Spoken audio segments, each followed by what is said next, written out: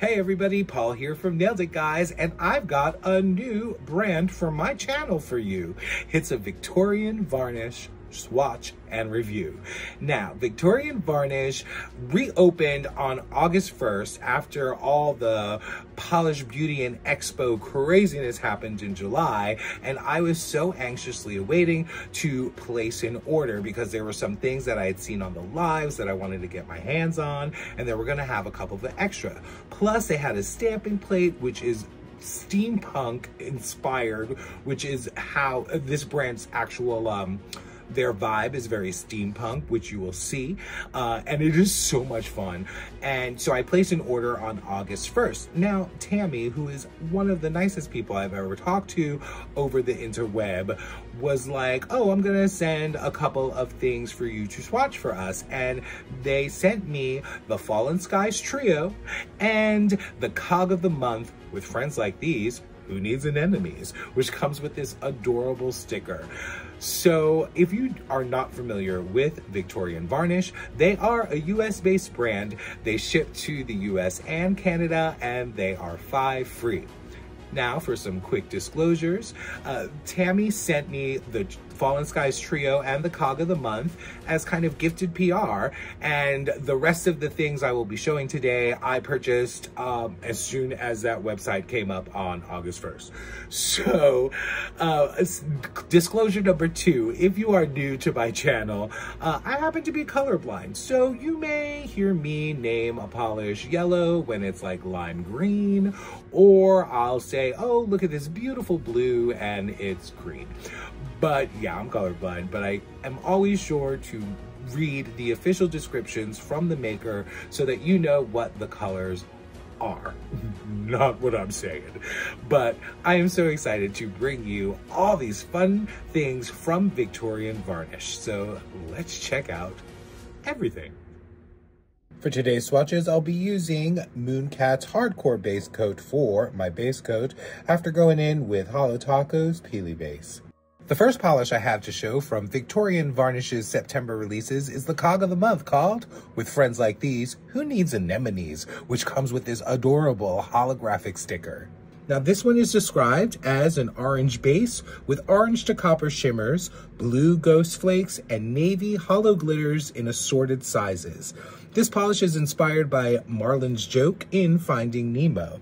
Now you can see in this first coat how I went pretty hard and fast, but that's because I saw this in the bottle and needed to get this on my nails. Those blue ghost flakes and those holo glitters were gorgeous. Now I get a really nice opacity here in just two coats. The formula is gorgeous jelly formula that really lays down evenly. And you can see here it does dry down a little flat, so you're gonna wanna use that glossy top coat. Today I'm using Mooncat Speed Demon top coat just to bring out all those shimmers and make those ghost flakes and flakies shine. Now this one, you're gonna wanna use a peel off base or the soak off method to get those glitters out. But check out with friends like these, who needs anemones in the direct sun?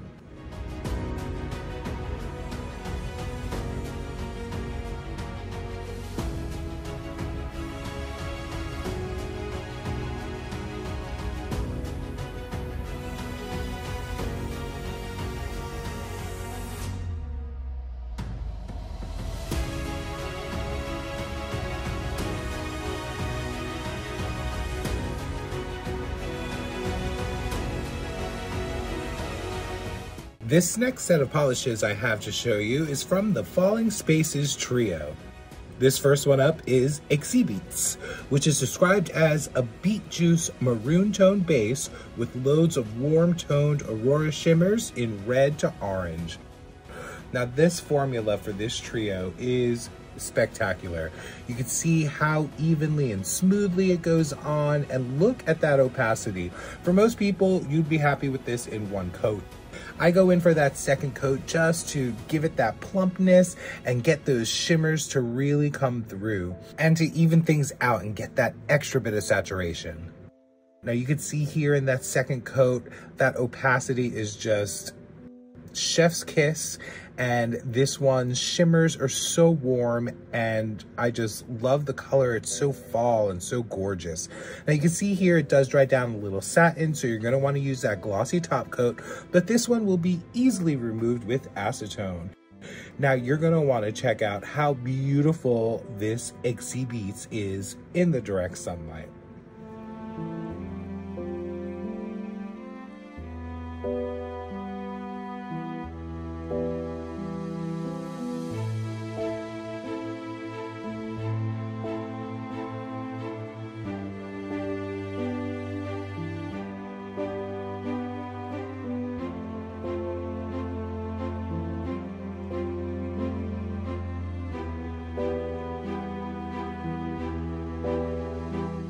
The next polish in the Falling Spaces trio is called Pod Snappery, which is described as an edamame olive green base with loads of warm-toned aurora shimmers in green and orange. Now this color green is usually the shade of green I steer away from. However, since it does have those orange to red shimmers in it, I was gonna give it a chance. Now in this first coat, you can see it does dry down a little bit patchy, so I do go in for that second coat just to give it that full saturation and get that really nice opacity. Also in that second coat, those shimmers start coming through, so the color kind of started warming up to me. And then I went in with this glossy top coat and those shimmers started popping through, especially on this middle finger. And I was like, ooh, okay, this one's pretty. The color combination is gorgeous. And then I used a topper on it, which you will see later on, and it sold me.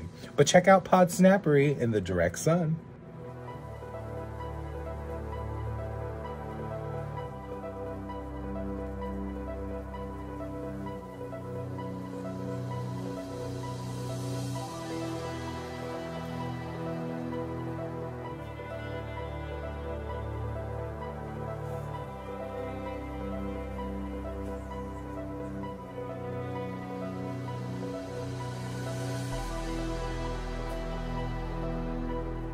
And the final polish in the Falling Spaces trio is called Tinkletorium, which is described as a mustard gourd yellow base with loads of warm toned aurora shimmers in red to orange.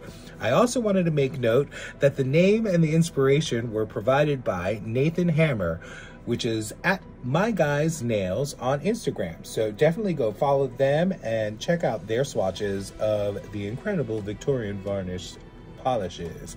But you can see this yellow is gorgeous. I love how it builds up. You can see in this second coat that it really gets a nice opacity, but I do go in for a third coat just to even everything out and get that full saturation that I love. You can see I'm going in for this third coat here and this yellow is just gorgeous. And yellow is such a hard color to mix, but those red and orange shimmers play so well off of this base.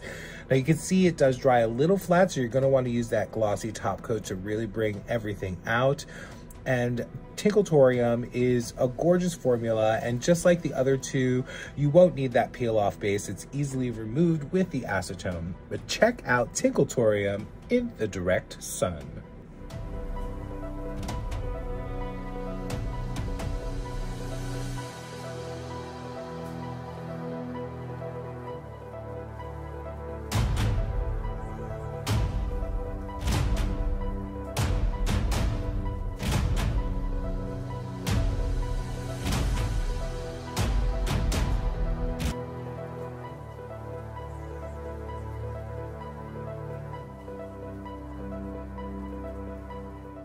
Now it's time to show you some of the other fun things I got from Victorian Varnish.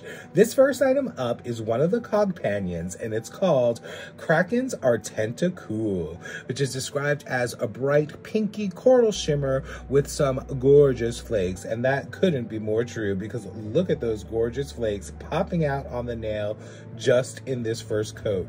You can see this has a really nice jelly formula and those flakies are all over the place. I do build this one up in two coats and it is so much fun. You can see this second coat gets a really nice opacity. Now the other fun thing about this polish is that it comes with a companion, which you saw at the beginning, that adorable little octopus with his top hat and little monocle. They fit perfectly on top of the Victorian varnish nail polishes. Now you definitely want to use this glossy top coat to really bring out those flakies and the shine. And this one you're going to probably want to use that peel off base or the soak off method so you don't have to fight with those flakies. But check out Krakens are tentacool in the direct sun.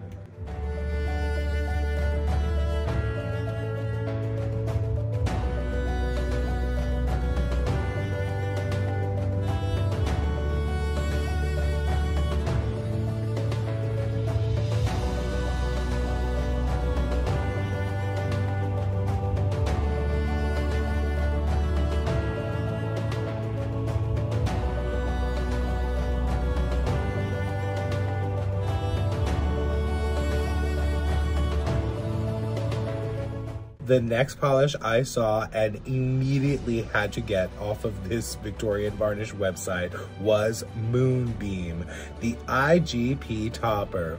Now this topper is $12 and this will turn anything into an inter Galactic Planetarium. This one is loaded with violet and blue Aurora Shimmer, blue and black multi-chrome flakes, and a host of rainbow ghost flakes. Now this topper literally can go on anything. I started putting this on every polish that I swatched just to see what it does. Now you can see here what it does over black, and later on, you will see it over black and white in my full hand swatches. And then I wanted to play with that Falling Skies trio. So here's one coat over exhibits, which is quite fun. You really see the purple and blue shimmer and those ghost flakes coming through. And then I did one coat over Pod Snappery. And this, like I said earlier, is what sold me. The way that green base pops through this topper, I was like, okay, this color is so unique and so gorgeous. I love it. Then I went ahead and did one coat over the final polish in that trio for Tinkletorium, the yellow, and this was another stunner. This one just gorgeous, and I love it over this trio. Now, since there are a lot of flakies in there, you're gonna wanna use that peel off base or soak off method, but you've gotta check out the Moonbeam IGP topper in the direct sun.